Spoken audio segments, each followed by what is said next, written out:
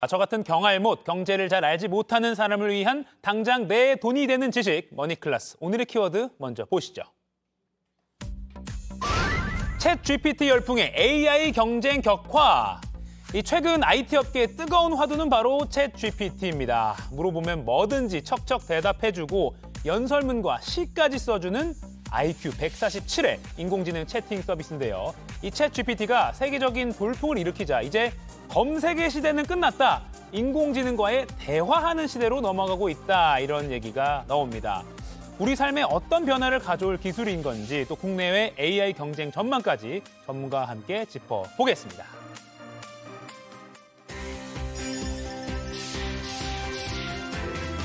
빅데이터 분석 IT 전문가 김덕진 미래사회 IT 연구소 소장님 모셨습니다. 안녕하세요. 네, 안녕하세요. 반갑습니다. 김덕진입니다. 발음도 어려워요. 챗 GPT. 네. 이게 우리 뭐 인공지능 스피커, 뭐 아니면 뭐, 뭐 시리, 빅스비 네네네. 뭐 이런 거 휴대폰에서 쓰잖아요. 그쵸.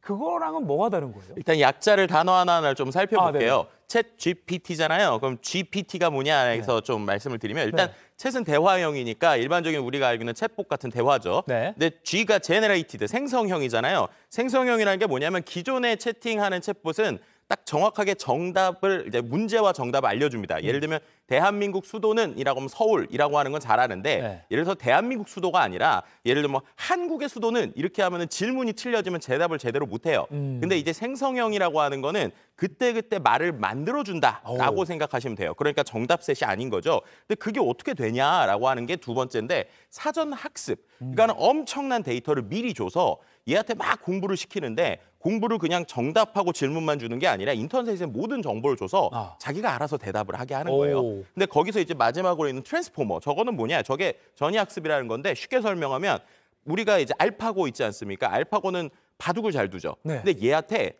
비슷한 장기를 두게 하는 거예요.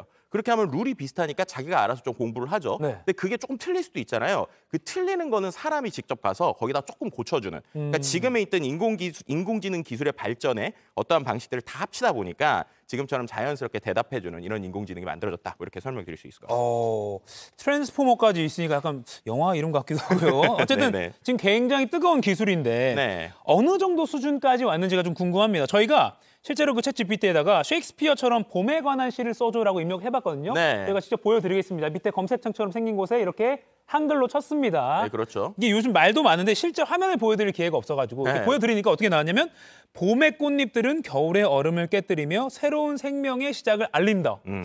꽤 괜찮게 시가 나왔어요. 그렇죠. 네. 저렇게 나오는 것뿐만 아니라 또 저희가 오늘 방송을 하잖아요. 그래서 네. 제가 만약에 얘한테 우리가 챗 GPT야 챗 GPT를 가지고 방송을 한다면 어떤 식으로 방송을 만들 수 있을까라고 물어봤더니 정말로 대화를 해줍니다. 대본을 써주나요? 써주는 어. 거예요. 그또 놀라운 게 종이들을 구분을 해줘요. 그래서 프로그램 제목도 넣고요. 캐스터, 게스트 1, 게스트 2 와. 저렇게 하면서 대화를 하는 형태죠. 그리고 막 제가 또 다른 거 넣었을 때는 얘가 음악을 언제 깔아야 된다, 음. 화면을 전환해야 된다 이런 것까지 다 알려주는 좀 신기한 프로그램이라고 볼 수 있는 것 같습니다. 피디님 보고 계시죠? 이런 기술입니다, 피디님. 네. 그런데 지금 저희가 챗 GPT가 만능은 아닌 것 같아요. 그래서 저희가 그렇죠. 혹시나 또 뭐라고 쳐봤냐면 상암동 클래스는 어떤 프로그램이온가요? 라고 질문을 던져봤어요. 네. 그랬더니 답변이 조금 저희 입장에서는 황당했습니다. 어떤 답변이 나왔는지 황당하네요. 보시면 네. 상암동 클래스는 대한민국의 방송국인 TBN, TBN 깜박깜박거리는 것도 실제 약간 시간이 걸리더라고요. 네네. TBN에서 방영되는 예능 프로그램입니다. 네. K-팝 아이돌이 참여한다 뭐 이런 식으로 약간 황당한 답변을 내놨습니다. 네, 아직 제- 좀 부정확한 것도 있나 보네요. 제가 볼 때는 저거 아마 그 클래스 중에 옛날에 드라마 있는 그런 클래스 있었잖아요. 아. 그거 좀 나온 거 아닌가 싶기도 이태원 하고. 클래스도 JTBC 네. 드라마인데 아무튼 네. 그렇죠. 이게 왜 그러느냐 생각을 해보면 일단은 이게 사전 학습이라고 말씀드렸잖아요. 데이터가 2021년까지입니다. 2022년 전 네, 데이터까지. 2021 이제 1년까지만 데이터가 음. 있고 22년 전까지이기 때문에 일단은 확실하지가 않고요. 두 번째는 학습하는 데이터에서 우리가 전 세계에 있는 인터넷 데이터를 얘가 다 학습하는데 네. 그렇게 치면은 한국어 데이터가 상당히 적어요. 아. 그러다 보니까 이제 이 부분이 문제가 있고요. 또 세 번째는 이게 생성형이잖아요. 그래서 그때그때 답변을 해주는데 답변이 정, 질문에 대한 정답이 정확하게 있는 게 아니라 그때그때 생성하기 때문에 답변도 조금씩 달라지는 음. 이러한 형태라고 보시면 될 것 같습니다. 저희 프로그램이 작년 11월에 시작했기 때문에 아마 음. 말씀하시는 2021년까지 학습을 했다면 뭐 정보가 없을 수도 있겠네요. 네네. 그리고 또 이제 이게 시험 같은 거, 뭐 고등학교, 대학교에서 요걸로 네. 뭐 레포트도 대신 써주고 음. 약간 악용한 사례들이 나오고 있어서 좀 문제가 되고 있잖아요. 그러니까 이게 참 이걸 악용이라고 해야 될지 아니면 활용이라고 해야 될지 참 애매한 부분인데 뭐 예를 들면은 미국 뉴욕시에서 이게 좀 문제가 되다 보니까 모든 학교에서 아예 챗 GPT를 금지하는 이러한 것들에 대한 어, 방식을 냈어요. 또 워싱턴 DC에서도 일부 대학에서 아예 그냥 과제 자체를 폐지하고 이럴 거면 그냥 문답으로 대화하는 형태로 이제 해야 된다 이런 어. 것들까지 나오고 있고요. 또 이제 국내에서 수도권의 한 국제학교 재학생 일곱 명이 챗 GPT를 활용해서 영문 에세이를 써가지고 네. 나중에 이제 걸린 거예요. 그렇죠. 그래서 아예 빵점 처리를 하는 뭐 이런 일들도 생겼고 현직 판사가 뭐 챗GPT 활용해서 판결문을 쓰기도 하는 뭐 이런 형태들이 나옵니다. 그래서 이게 글을 정말 잘 써주는데 이 잘 써주는 게 내용하고 상관없이 상당히 매끄럽게 써주다 보니까 음. 이게 맞느냐 틀리냐 이것도 있고요. 제가 오늘 좀 또 하나 해본 게 예를 들면 인터넷에 아주 유명한 블로그 글이 있어요. 네. 그럼 그 글을 제가 검색했을 때 그 주제 비슷했을 때 그거랑 비슷한데 먼저 나오게 하고 싶은 거예요. 그래서 이 챗GPT한테 뭐라고 물어봤냐면 그 인터넷 링크 있잖아요. 네네. 그 URL 주고 나서 이거랑 비슷한 형태의 글인데 검색어가 좀 더 잘 나오게 해줘라고 얘기를 했더니 정말로 비슷한 글을 그대로 써주고 그게 검색하면 더 잘 나오는 이런 정도까지 활용할 수 있는 상황이 검색 결과 우선순위로 뜨게 해달라고 하니까 그렇게까지도 해준다. 네, 비슷한 글인데 또 정말 매끄럽게 잘 써주는 거죠. 아 그렇군요. 2016년입니다. 벌써 좀 오래됐는데 그 이세돌 구단과 바둑 승부를 펼쳤던 아까 말씀하신 그 알파고 기술이 이제 구글에서 개발을 한 건데 네. 이 챗GPT 돌풍이 최근에 돌면서 이제 구글의 시대는 끝났다 뭐 이런 말도 나오는데 네. 뭐 구글이나 마이크로소프트 같은 기존의 글로벌 그 big tech 기업들은 좀 어떻게 대응하고 있나요? 그러니까 이게 왜 그런 얘기가 나올까라고 할 때 말씀하신 것처럼 이 챗GPT가 원래 OpenAI라고 하는 이제 스타트업인데 그 스타트업에 최근에 마이크로소프트가 엄청나게 투자를 했다는 아. 거예요. 그러니까 마이크로소프트 입장에서는 구글이 나오면서 본인들이 가지고 있던 걸 다 뺏겼거든요. 제일 대표적인 것 중에 하나가 인터넷 브라우저죠. 네. 우리가 인터넷 브라우저 생각해 보시면 예전에 인터넷 익스플로러 썼잖아요. 근데 요즘엔 크롬이라고 하는 녀석을 대부분 맞아요. 쓰시죠. 그게 구글에서 만든 거란 말이에요. 그리고 또 구글이 검색 엔진에서 검색 점유율이 엄청 높잖아요.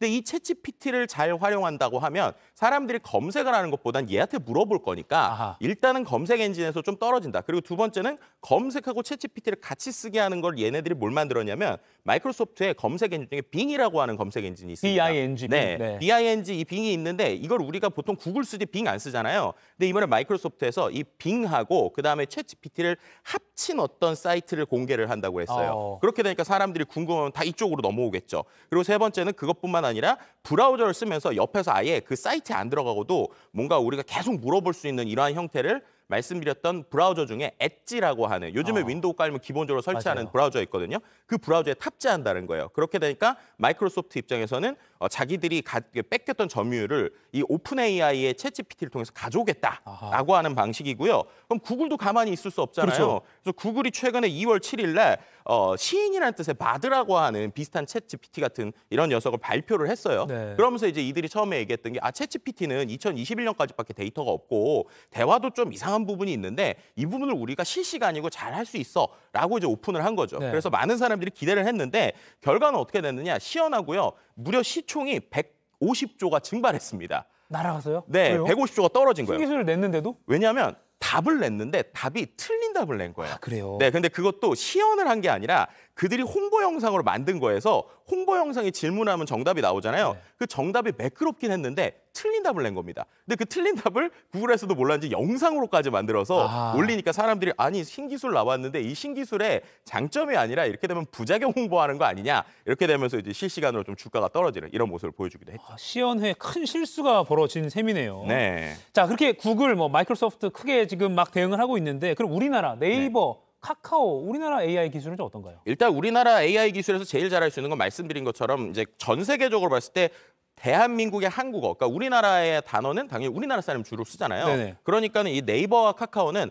한국어에 특화된 쪽을 좀 잘 하고 있는 것 같아요. 네이버 같은 경우에는 우리가 수많은 블로그 글이나 검색을 대부분 국내에서 하잖아요. 그러니까 네. 네이버에서 하잖아요. 그러니까 네이버의 학 데이터를 학습시켜서 만드는 일종의 챗봇 형태인 거죠. 그래서 그런 걸 이제 하이퍼클로바라고 하는 걸 만들고 있고 네. 이게 이제 서치 GPT라는 게 우리가 치는 검색 엔진. 아까 말씀드린 것처럼 마이크로소프트가 빙이라고 하는 검색 엔진하고 챗 GPT를 합치려고 한다고 그랬잖아요. 어, 뭐 네이버 역시도 네이버 검색 엔진에서 뭔가를 물어보면 이제 한국어로 한국어로 아주 잘 답해주는 이러한 챗GPT 같은 걸 같이 합치겠다라고 하는 게 이제 네이버의 방향이고요. 네. 이제 카카오 같은 경우는 뭐냐면 이 한국어가 일반적인 언어랑 영어랑 다르게 좀 처리가 어려워요. 우리가 한국어 끝까지 들어봐야 된다 뭐 이런 얘기 하잖아요. 그래서 이 한국어를 컴퓨터가 잘 이해하고 구분할 수 있는 이른바 언어 모델이라고 하는데 그 언어 모델에 집중해서 만들고 있는 게 저 코 GPT라고 하는 녀석입니다. 네. 그래서 카카오는 컴퓨터가 한국어를 잘 알아듣고 한국어를 잘 말할 수 있는 쪽에 투자를 해서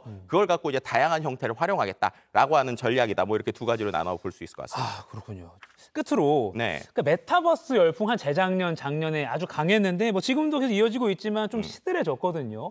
근데 챗 GPT 열풍도 혹시 그런 건 아닐지 음. 뭐 소장님은 지금 열풍이 기회가 될지 아니면 뭐 실이 될지 거품이 될지 어떻게 좀 전망하십니까? 그러니까 이 챗GPT를 처음에 이제 사람들이 얘기할 때 이거는 거의 뭐 아이폰 처음 나왔을 때만큼의 충격이다. 어. 뭐 앱스토어 처음 나왔을 때만큼의 충격이다라고 하는 이유가 메타버스는 특정 분야에서 활용되지만 음. 이 지금 인공지능이랑 범용, 그러니까 모든 분야에 이미 인공지능이 적용돼 있거든요. 네. 그러다 보니까 이게 장기적으로 볼 때 훨씬 더 할 수 있는 게 많은 것 같고요. 네. 그래서인지 많은 해외의 투자은행이나 투자기관들이 계속 이 AI의 영향력이 크기 때문에 이것은 충분히 장기적이다라는 좀 기대나 그런 것들에 대한 예측을 하고 있다. 뭐 이렇게 설명드릴 수 있을 것 같습니다. 알겠습니다. 지금까지 이 뜨거운 챗 GPT에 대해서 미래사회 IT 연구소 김덕진 소장과 이야기 나눠봤습니다. 고맙습니다. 네, 감사합니다.